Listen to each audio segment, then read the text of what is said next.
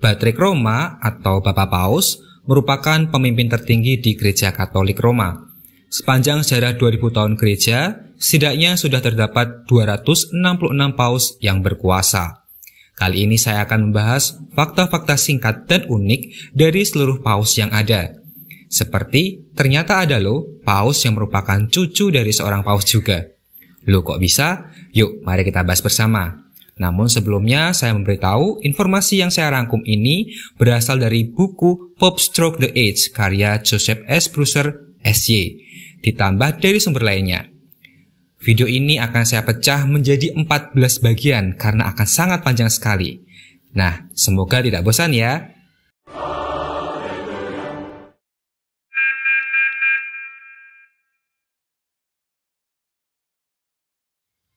Santo Petrus merupakan paus pertama dalam gereja Katolik. Awalnya Santo Petrus dan saudaranya Santo Andreas tertarik pada ajaran Yohanes Pembaptis. Kemudian mereka menjadi murid Tuhan Yesus. Setelah peristiwa Pentakosta, Santo Petrus mengabarkan Injil sampai ke kota Roma. Di kota ini, Santo Petrus wafat disalib dalam kondisi terbalik di sebuah bukit yang sekarang menjadi negara kota Vatikan. Santo Linus merupakan anak dari Herculanus, seorang Romawi.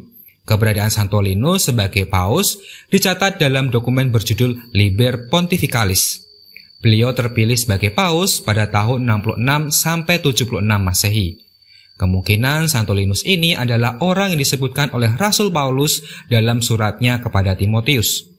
Dia disebutkan sebagai Bapak Paus yang mengeluarkan dekret kewajiban wanita berkerudung saat masuk gereja. Santo Linus wafat sebagai martir dan diperingati setiap 23 September.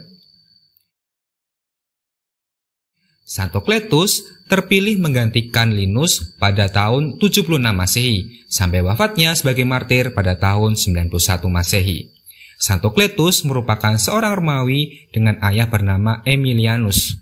Beliau menjadi martir saat Kaisar Domitianus berkuasa dan dimakamkan di dekat makam Santo Petrus.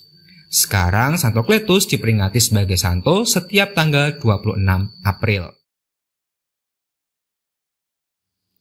Santo Clemens pertama merupakan salah satu murid dari Santo Petrus.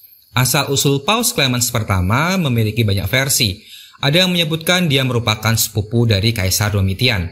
Ada pula yang menyebutkan dia merupakan warga negara Romawi keturunan Yahudi. Yang pasti, beliau menjadi paus pada tahun 91 sampai wafatnya sebagai martir dengan cara diikat ke jangkar kemudian ditenggelamkan ke lautan pada tahun 100 Masehi. Pestanya diperingati setiap 23 November. Santo Evaristus menggantikan Paus Clemens dari tahun 100 sampai 105 Masehi. Menurut Liber Pontificalis, beliau merupakan keturunan Yunani Yahudi dari Antioquia. Ayahnya disebut-sebut berasal dari Bethlehem. Sebelum wafat sebagai martir, beliau mentahbiskan 15 uskup, 7 imam, dan 2 diakon. Beliau diperingati setiap tanggal 26 Oktober. Setelah Paus Evaristus wafat, Paus Alexander pertama menggantikannya dari tahun 105 sampai 115 Masehi. Beliau dinamai seperti nama ayahnya, Alexander, seorang warga negara Romawi. Disebutkan beliaulah yang memulai tradisi memberkati rumah baru dengan air suci. Santo Alexander pertama wafat sebagai martir dengan cara dipancung bersama seorang pastor bernama Eventius dan diakon bernama Theodolus di Via Nomentana. Pestanya dirayakan setiap 3 Mei.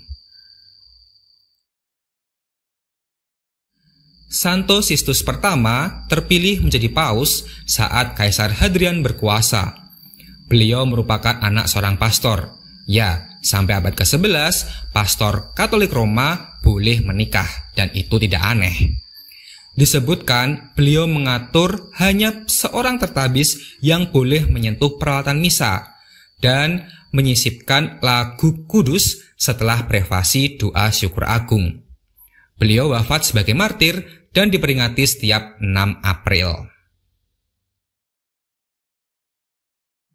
Santo Telesforus merupakan seorang keturunan Yunani yang hidup seperti seorang petapa saat Kaisar Antonius Pius berkuasa. Beliau terpilih menjadi Bapak Paus mulai dari tahun 125 sampai 138 Masehi. Beliau dikenal mengatur lamanya berpuasa prapaskah, yang awalnya tidak sama setiap daerah, kemudian distandarkan menjadi selama tujuh minggu. Kemudian mengatur madah kemuliaan agar dapat dinyanyikan setiap hari Natal. Karena saat itu, madah kemuliaan tidak dinyanyikan setiap misa hari Minggu, namun hanya pada Minggu Paskah saja. Menurut Santo Ireneus, beliau wafat sebagai martir dan dirayakan setiap 5 Januari. Santo Hyginus menjadi paus dari tahun 138 sampai wafat sebagai martir pada tahun 140 Masehi. Saat penggembalaannya, berkembang cukup pesat bidah gnostik dan manikeisme di kota Roma yang dibawa oleh Valentinus dan Gerdo. Kemartiran beliau tidak diketahui dengan pasti karena tidak dicatat oleh para penulis kuno. Sekarang Santo Higinus diperingati setiap tanggal 11 Januari. Santo Pius pertama merupakan seorang keturunan Italia. Ayahnya bernama Rufinus dan saudaranya bernama Hermas. Ya, merupakan penulis sebuah kitab apokrif berjudul Gembala Hermas. Kitab ini pernah diperimbangkan loh untuk dimasukkan dalam kanon kitab suci. Di masanya dari tahun 140 sampai 154 Masehi, beliau harus bergulat melawan ajaran Gnostik yang dipimpin oleh Marcion. Bahkan beliau hampir terpengaruh oleh ajaran Marcion sampai harus disadarkan oleh Santo Justinus. Beliau juga memerintahkan agar orang-orang Yahudi dapat bertobat dan dibaptis. Beliau wafat sebagai martir dan diperingati setiap tanggal 11 Juli. Sebelum kita melanjutkan daftar paus ke-11 sampai ke-20, jangan lupa untuk klik subscribe, like, komen, dan share. Jika ingin membantu perkembangan channel ini, kalian dapat bergabung menjadi kesatria atau klik tombol super thanks.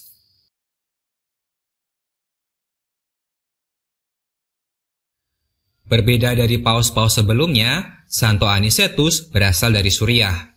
Paus yang memimpin dari tahun 155 sampai 166 Masehi ini meninggal sebagai martir. Di masa penggembalaannya terjadi perdebatan kapan umat Kristen harus merayakan Paskah. Apakah murni tanggal 14 bulan Nisan Yahudi atau seperti Paskah Yahudi atau harus dirayakan pada hari Minggu setelah tanggal 14 bulan Nisan Yahudi? Saat berdebat dengan Santo Polikarpus, Santo Anicetus memutuskan karena ini hanyalah tradisi dan bukan doktrin, maka umat yang mau merayakan Paskah tidak masalah pada tanggal 14 atau hari Minggu setelahnya. Nah, peringatan terhadap Santo Anicetus ini dirayakan setiap 17 April. Santo Soter berasal dari Italia dan memimpin dari tahun 167 sampai 175 Masehi. Ayahnya bernama Concordinus. Beliau terkenal sangat dermawan yang sering mengirimkan bantuan ke gereja-gereja. Namun beliau juga mengeluarkan peraturan yang melarang biarawan dilarang menyentuh altar dan mempersembahkan dupa di gereja. Tercatat, beliau meninggal sebagai martir dan diperingati setiap tanggal 22 April. Santo Eleutherius merupakan seorang keturunan Yunani dari Nikopolis. Beliau memimpin gereja Katolik dari tahun 174 sampai 189 Masehi. Pada masanya, beliau mengeluarkan ajaran jika seluruh makanan boleh dimakan orang Kristen seperti yang tertulis dalam kitab suci. Hal ini diajarkan untuk melawan ajaran Montanus yang melarang makan daging. Beliau meninggal sebagai martir dan diperingati setiap tanggal 6 Mei. Santo Victor pertama disebutkan merupakan seorang Afrika keturunan Romawi. Ayahnya bernama Felix dan beliau terpilih pada tahun 189 Masehi. Setelah disebutkan sebelumnya, Santo Anicetus gagal menyatukan tanggal perayaan Paskah, Santo Victor pertama berhasil memaksa para uskup di Asia Kecil yang merasakan Paskah pada tanggal 14 bulan Nisan Yahudi untuk mengikuti tradisi di barat, yaitu merayakan Paskah di hari Minggu setelah tanggal 14 tersebut. Beliau menjadi martir dan diperingati setiap tanggal 28 Juli. Saat memimpin gereja Katolik dari tahun 199 sampai 217, Santo Severinus harus berjuang melawan dua bidah sekaligus, yaitu bidah yang pertama mengajarkan Yesus bukanlah Allah Putra, dan bidah yang kedua mengajarkan jika Tritunggal itu merupakan tiga mode atau tiga bentuk dari satu Allah. Beliau kemudian juga mengalami persekusi, karena awalnya Kaisar Septimus Severus bersikap cukup bersahabat, namun kemudian mulai menindas orang-orang Kristen. Santo Severinus diperingati setiap 26 Agustus.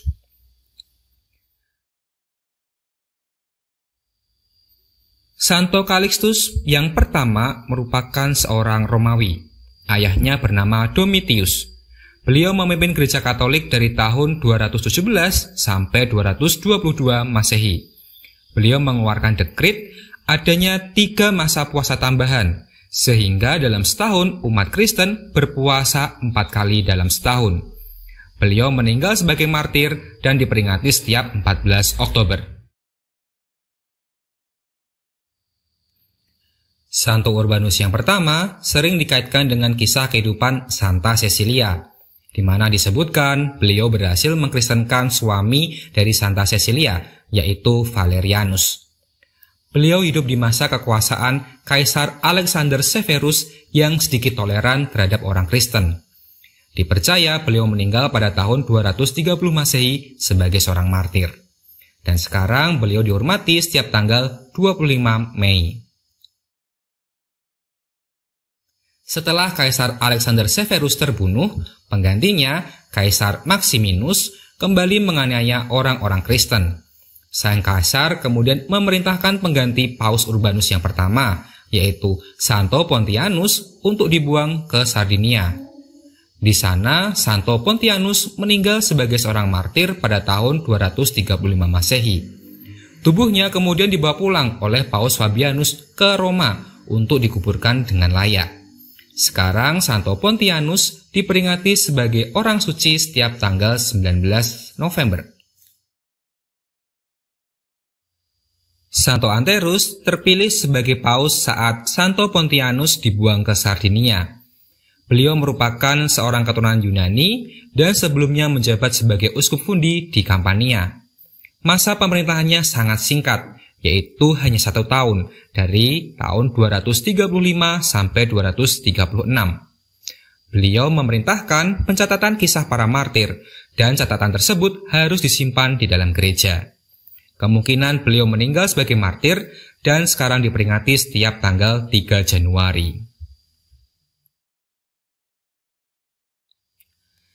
Seperti yang telah dikisahkan sebelumnya, Santo Fabianus memindahkan jenazah Paus Pontianus ke Roma. Beliau juga berperan dalam perkembangan umat Kristen di Gaul, Prancis saat ini. Beliau bertahta lebih lama dari dua pendahulunya, yaitu selama 14 tahun, dari tahun 236 sampai 250 Masehi.